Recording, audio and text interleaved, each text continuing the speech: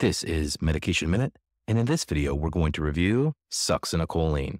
Succinylcholine chloride is a depolarizing neuromuscular blocker, meaning it's a paralytic that's utilized for drug facilitated intubation after the patient's been sedated. The dosage for succinylcholine is 2 milligrams per kilogram IV or IO. Since it's a depolarizing medication, after you administer this dose rapid IV, you may witness some fasciculations as the patient becomes fully uh, paralyzed.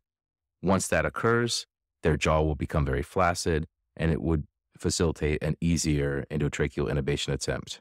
Now, it's extremely important to remember that you do not want to cause conscious paralysis. So the patient should be fully sedate prior to administering succinylcholine. You would want to give either ketamine or etomidate to assure that the patient's fully sedated prior to administering this medication.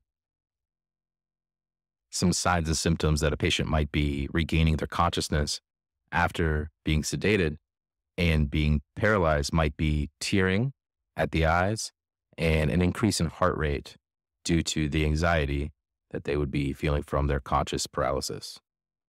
You're going to want to monitor them for full paralysis, then perform your intubation rather quickly Again, this being a depolarizing agent, it lasts about 10 to 15 minutes before they start getting muscle tone back and the ability to control their own respirations and their gag reflex will return.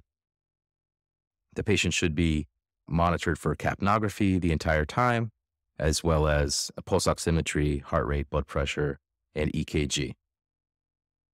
A couple of more important things succinylcholine can cause malignant hyperthermia, so if a patient has a history of malignant hyperthermia, of course, you would want to avoid treating them with succinylcholine. Also, it is not a great medication for patients with crush syndrome or patients that are susceptible to hyperkalemia. This was Medication Minute on succinylcholine.